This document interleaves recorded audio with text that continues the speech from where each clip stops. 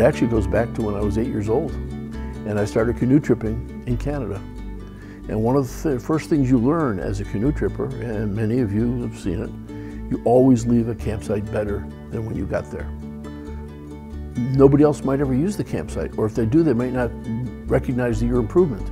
Or if they do, they might not know it was you that did it, and it doesn't matter. You just do it. Planet Earth is our campsite.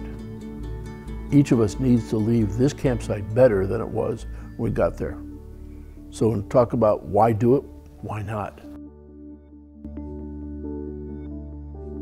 What we've done here is create a community that is what's called net zero because terms like sustainability, earth friendly, green are not measurable.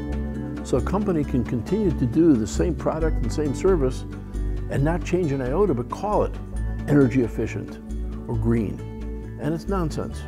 The way you measure whether or not it is, is the term is called net zero, which says we take, for example, with power, we have photovoltaic panels that generate power when the sun hits it, and at night, we take it back from the grid. So in the daytime, we're generating excess, we put it into the grid, our meters go backwards, and at night, we take it back.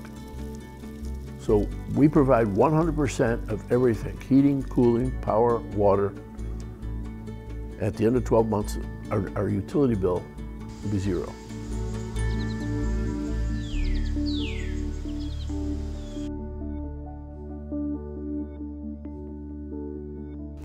So we've always been eco-friendly, but what drew us most to this place was actually just the pure beauty of it.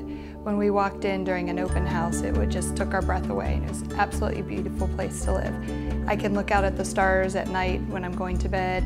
I can wake up in the morning and see a garden, you know, right in front of my eyes without even having to step outside. The kids uh, just love, you know, being able to walk around and see greenery and, you know, they think it's just a normal place to live, but it's absolutely beautiful. In addition to beauty, one of the things that I began to learn is what the people, the residents here call being in community. What does that mean? I said, well, it's here. So what is there about here that makes it being in community? And so we've lived other places, not really known our neighbors for 10 years. Said, I know everybody here, and if I ever need help, I'm confident that I could go to any of the others here and get help. And if anybody else here came to us needing help, unquestionably, I would give them help right away. And they all looked at each other and nodded. That was not part of my original notion, but I can see where that really impacts quality of life experience.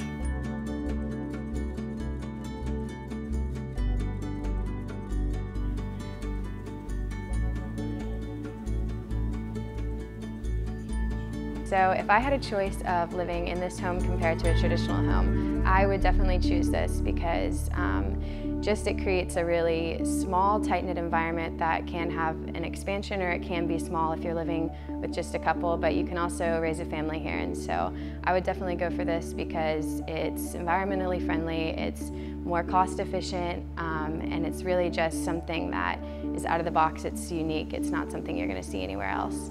And so I would definitely choose this.